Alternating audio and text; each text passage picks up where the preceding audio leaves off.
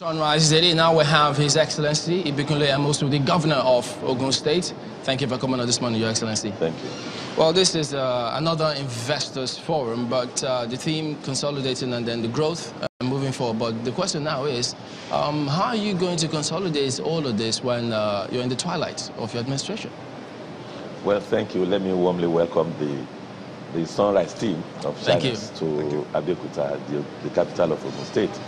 Well, uh, you know that uh, government is continual. No one person can finish it. Indeed, the framers of the constitution knows this, and that's why they've given just two terms. But it will not mean that once I finish my own, then the person coming after me will not follow uh, suit. No, they will. Once it's a very good initiative, good program, good uh, foundation that we are laying. So I have no doubt in my mind that yes, we are almost uh, going.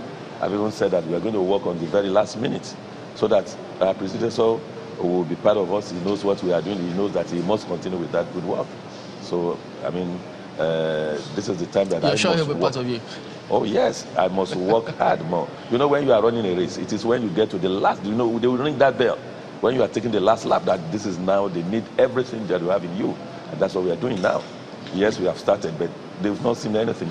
The last year, which is we are just we are just entering, we are going to work more than all that we did in the past seven years. I see now that you, you included technology in this particular one. What informs that decision? No, I mean, of course, even channels, everybody, the whole world is going, going digital, going tech, and we don't want to be left behind. We are Ogun State, mind you, we are the first to have access to Western education. And beyond all of those, you've seen we are the uh, education capital, industrial capital. Clearly now we are trying to be the, the food uh, basket, the food hub of uh, even not just our zone here, but probably Nigeria at large. So uh, if you are going to get it, we must, we must uh, work smart, think smart, in all other sect- in all the sectors, all human endeavor. People be, be, before now, if you want to search for anything, probably you'll be taking your dictionary or anything. Now, at the touch of a button, you're there. So technology drives business. Technology will make you achieve so many things. It saves time, it saves money, it does a lot of things for you, and that's why for us, we are bringing technology in the way we do our things, either in education, in health, in agriculture, even the way we build our houses, and all of those. And in any case, what we call Ogun Standard, of course, rendering service, the way we attempt to do our work. And we are, we are not just doing it alone because we know that we will come and just leave.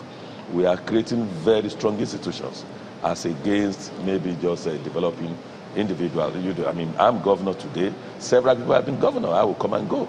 But that is called Ogun State. That state will still be there.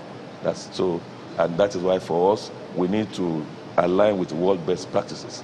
Your So, yes. you, you talked about, um, we've had your team talk about what's going on here, but I'm concerned about the environment. I mean, you have a lot of industries opening up here, you have road constructions happening everywhere, and that means felling of trees, that means expansions, things, and nature is being hampered in one way or the other. What's the plan to ensure that there is restoration of the environment? No, what we are doing is we are balancing the act. Don't forget that, yes, that's what you do. You, you strike a balance. You want development, yes. It's not important that, yes, you are cutting trees. I think no problems, but you should plant more. If you cut 10 trees and you planted maybe 30, of course, it will make up for it.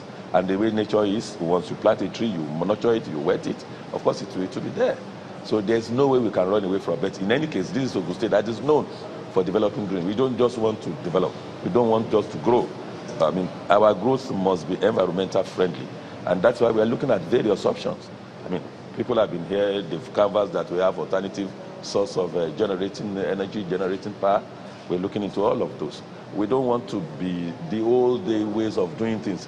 In fact, nobody knew then when we cut trees, we do everything we never knew that will come to haunt us.